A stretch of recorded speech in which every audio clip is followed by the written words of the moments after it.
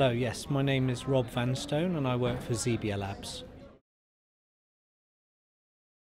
Yeah, XebiaLabs is a product company, as you said, and it's about giving our customers intelligence, automation, and control over their software delivery process. So, what we try to do is help our customers deliver faster, higher quality, with less risk. These kind of events, and this event in particular, is really good to get to see a broad selection of our customers in one place. So obviously, we get to showcase our product, but at the same time, we get to listen to what they're telling us their experiences are in this space. And it's really important to us to get that information so that we can refine our products and then offer them a better service as well. Uh, so far, the event's been brilliant. I love the format of case studies. I think hearing the, the real life stories of the customer is, is valuable.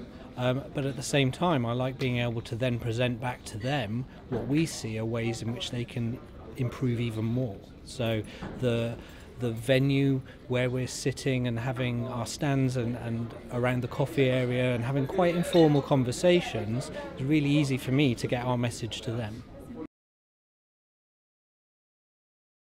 Yeah, I think the quality is pretty high. I think from the conversations we've been having, and this may sound silly being a software vendor, we uh, we're moving away from tooling discussions, right? What we're really trying to do is solve the real strategic problems, and the people at this conference are at a level where that actually makes sense, and they are not thinking about the point solutions or the tools, but actually really changing how they deliver software, and that's that's what we want.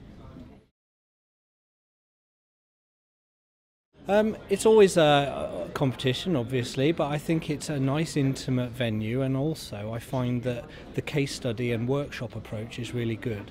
So it's a, it's bi-directional.